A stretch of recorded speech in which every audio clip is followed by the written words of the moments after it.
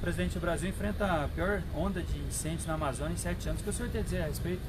É, você realmente tem razão. É a pior onda, né? é um crime, o governo não está insensível para isso. Tá? Nós temos uma guerra acontecendo no mundo contra, contra o Brasil, a guerra da informação. Tá? É, o pessoal nosso do IBAMA e CNBio está agindo, mas dá para você imaginar o tamanho da Amazônia. Estamos desde ontem conversando com o Ministro da Defesa e com o meio ambiente. O que, que te pode ajudar? Daí a justiça também. A justiça pode mandar 40. Olha só, acredite, 40 homens da, da Força Nacional para lá. E é uma gota d'água no oceano.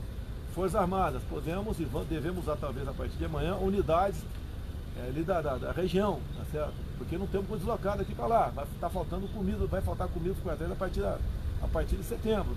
É a situação que nós nos encontramos. Agora, o que nos preocupa e muito, o crime existe, isso aí nós temos que fazer o possível para fazer que esse crime não, não, não aumente, não, não vá, vá avante, mas nós tiramos dinheiro de ONGs, repasse de fora, que 40% ia para ONGs, tá?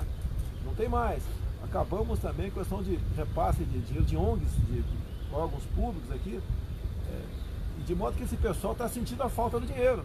Então, pode estar vendo, sim, pode, estou afirmando, ação criminosa desses zongueiros para exatamente chamar a atenção contra a minha pessoa, contra o governo do Brasil. Essa é a guerra que nós enfrentamos. Agora, vamos fazer o possível e o impossível para conter esse, esse incêndio criminoso que cadáver queimado eu sinto aqui em mim o que está acontecendo. O senhor então acha que são as ONGs que estão fazendo Não, não estou afirmando, né? Eu tenho que combater o crime, depois vamos ver quem é o responsável, o possível responsável pelo crime. Mas, no meu entender, há interesse dessas ONGs que representam interesses de fora do Brasil.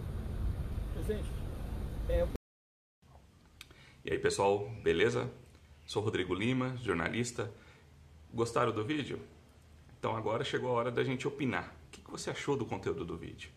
Você é a favor, contra?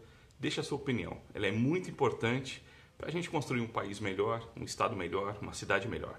Conto com a sua participação e um grande abraço. Jornalismo aqui tem lado, o seu. Até mais, pessoal.